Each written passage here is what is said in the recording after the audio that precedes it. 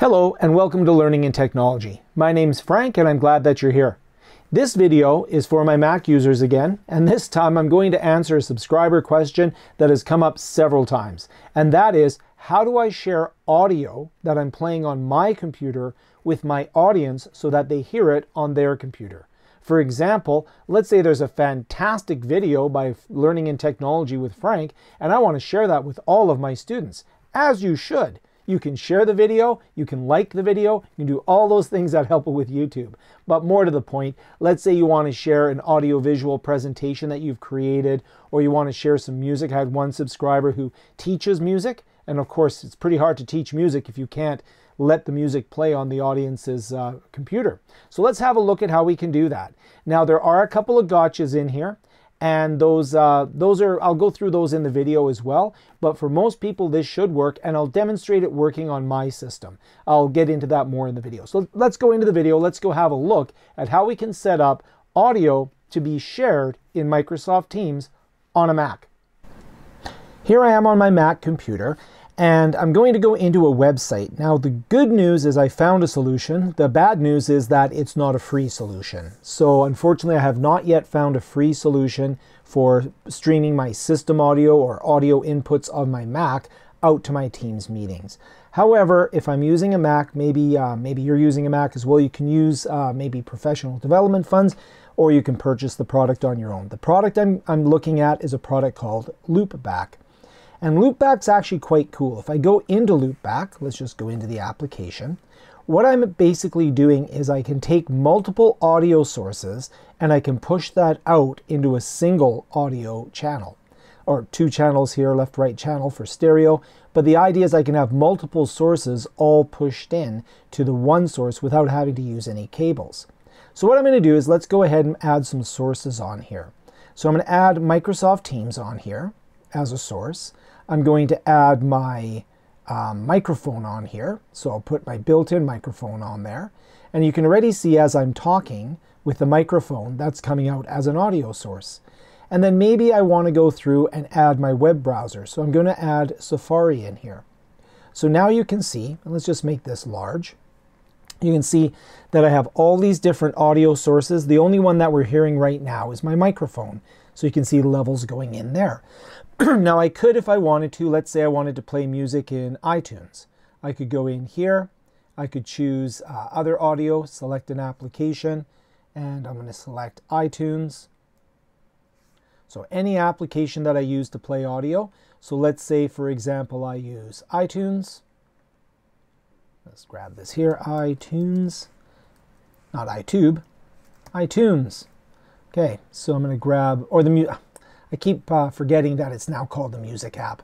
But anyways, there we go. So we'll put the music app in there. So now I have all of these things. So for example, if I go into the music app, and I'm going to have to be careful here that I choose something that's royalty free. So I have all these music in here. I'll do a quick search for royalty free music. Royalty free music. So I'm just going to grab uh, royalty free music here, and I'll just do distinct logo. So the idea here is if I'm playing this, let's just find something that's, I'll do this reality one. So I'm playing this music. Now I have the speakers off on my computer. I'll just turn it up a little bit. So I have this music going.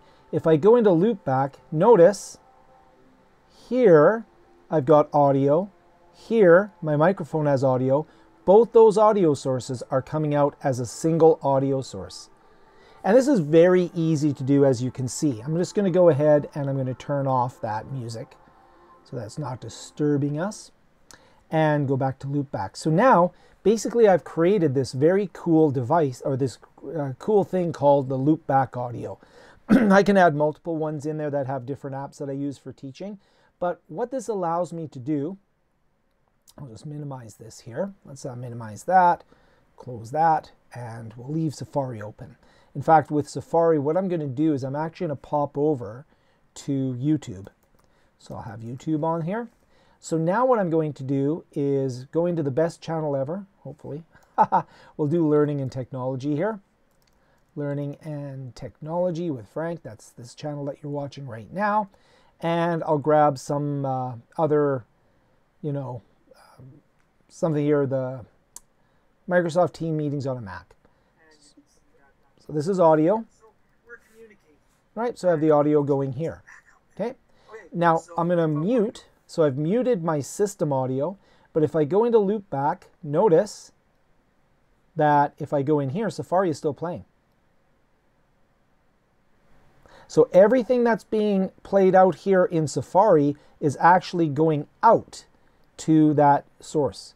Now I'm going to go into a Teams meeting and uh, and and you know so you set that up just once and then it's there for you. You just go in and I'm going to go into let's listen to a video together. I'm going to pop in. I guess my camera is going to come on, but I'll turn that off.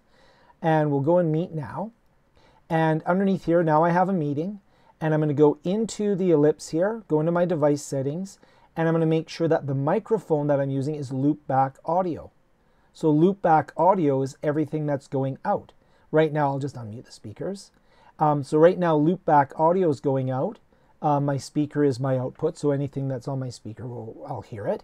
And anything I say or anything I do, hear. All of this, this is what it's pushing out, including that YouTube video that's playing. Or if I put the music song on here, that music. So that's a very cool way of pushing the audio out. Let's go have a look at what it looks like to somebody else who's in a meeting with me. So I'm just going to go to another computer and we'll, we'll have a look at that.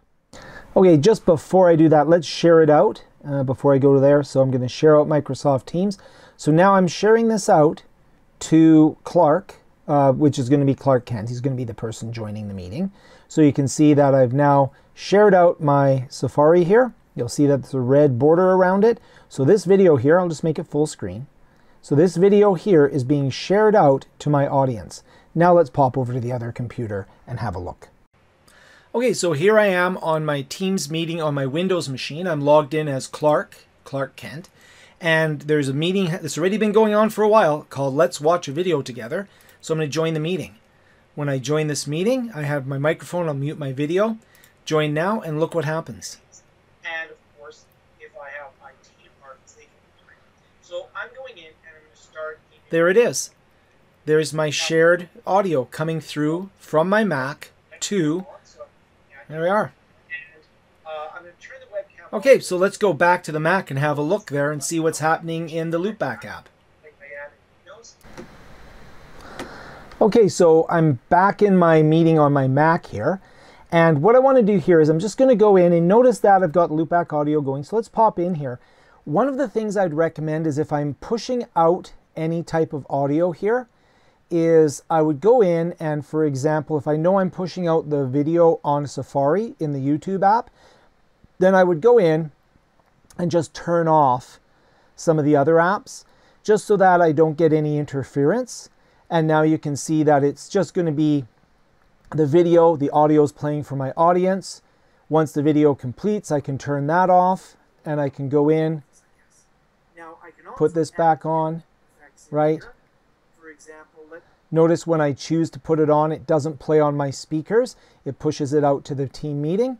If I go in and, and turn my audio on again here, you'll actually see that if I go into Safari, pop in here, you can see I can turn my volume up, right? And then if I go into loop back and actually say, okay, don't push it out, let's go ahead and grab it.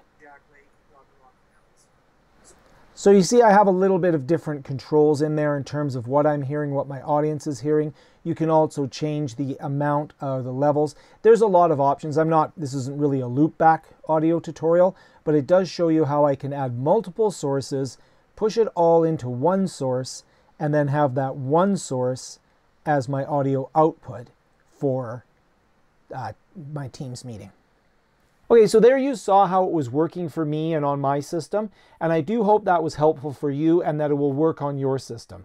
And I'm a little bit cynical about that, I have to apologize, but it's because sometimes depending on the model of the Mac computer you have or other software, it can get a little bit challenging. So comment down below if this worked for you. I'm very interested in sort of getting a handle on this and trying to get it to work for as many people as possible. As always, thank you so much for watching. Subscribe for more videos, tips, and tricks. Uh, hit the like button because that really does help the channel get discovered and grow on YouTube. It's very much appreciated. Thank you so much. Here's some other videos, and we will talk to you in the next video.